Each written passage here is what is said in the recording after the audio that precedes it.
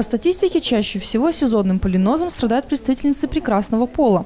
Женский организм оказался наиболее восприимчив к различным аллергическим реакциям, чем мужской.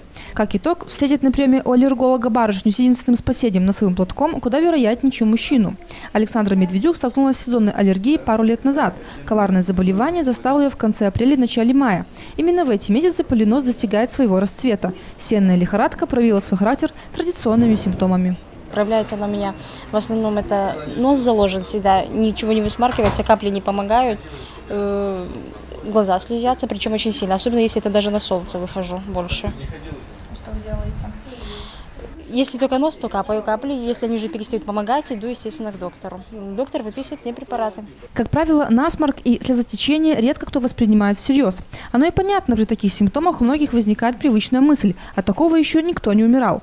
Однако, если такая реакция появляется ежегодно, в определенное время, как правило, это весна или лето, поход к врачу-терапевту лишним явно не будет. В противном случае сезонная аллергия может приобрести очертания совсем другого заболевания, отнюдь не такого безобидного. Длительно нелеченный полинос, например, риноконъюнктивит, может привести к астме, аллергической форме бронхиальной астмы. Вот. Э, дело в том, что в развитии полиноза очень большую роль играет наследственность, наследственная предрасположенность к аллергическим реакциям. Если она есть, если она не лечена и длительный период времени проявляется, человек на это не обращает внимания, не лечится, вот, он может трансформироваться в э, аллергическую форму бронхиальной астмы. Вот. Тогда уже совсем другие жалобы, совсем другое лечение, гораздо более дорогостоящее, гораздо больше трудопотери. Если для одних распустившиеся бутоны – это повод насладиться ароматом и видом, к примеру, нежного жасмина или пиона, то другим цветочная пыльца может изрядно подпортить самочувствие. Аллергеном может стать пыльца абсолютно любого цветка, кустарника или другого растения.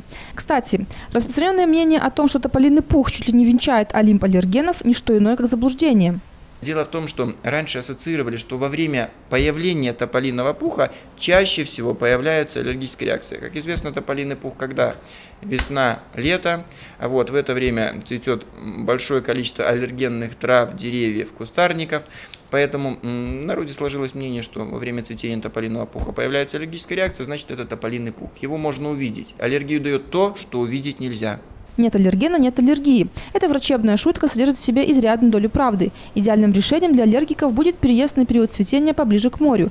Как можно чаще убираться, содержать рабочее и домашнее место в чистоте тоже лишним не будет. В любом случае, несмотря на неиссякаемый источник народной мудрости и советов по поводу того, как побороть сезонную аллергию, специалисты настоятельно рекомендуют не заниматься самолечением. Самое верное – обратиться к врачу, который и назначит лечение, подходящее лично вам и направленное против конкретно вашего аллергена.